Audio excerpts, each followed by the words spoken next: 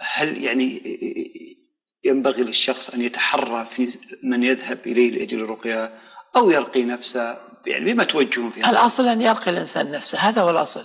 لأن الرقية عبادة. آيات تتلى وأدعية تقال.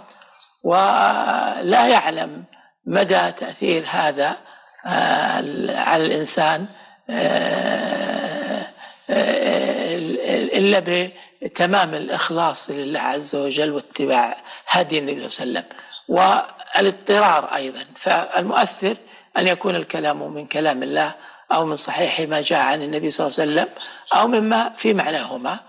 أيضا أن يكون صادرا عن إلحاح وإخلاص وصدق واضطرار فإن هذا من مما يؤثر وهذا قد لا يكون عند الراقي.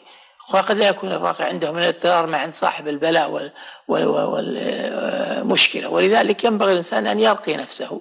فإن كان لا يحسن أو رغب في أن يرقيه أو غيره فليتخير من الرقاة ما يكون سالما من الشرك والبدع والخرافات وما يضيع يضيع الوقت أو ما يكون مشتتا لذهنه كأن يكون في توجيهات تتعلق بعلاجات شعبية. هذه يذهب إلى المعالجين الشعبيين الذين يعرفون خواص المواد وتجرباتها أو الطب الحديث الذي يساعد في في العلاج. أما أن يخلط هذا بهذا ويجعل الرقية أشبه ما يكون بعيادة صحية يصرف فيها علاجات ويوجه فيها توجيهات فهذا خارج عن الرقيه الشرعيه. نعم بارك الله فيكم.